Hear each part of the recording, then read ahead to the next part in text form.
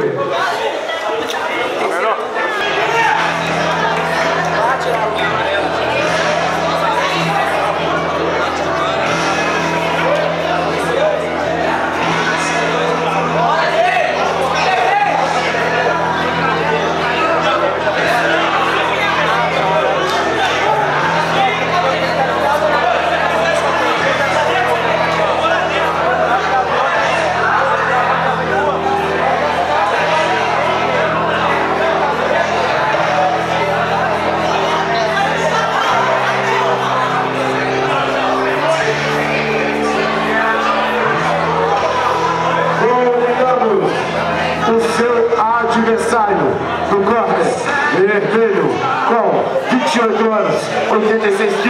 Representante da equipe Jim Soto.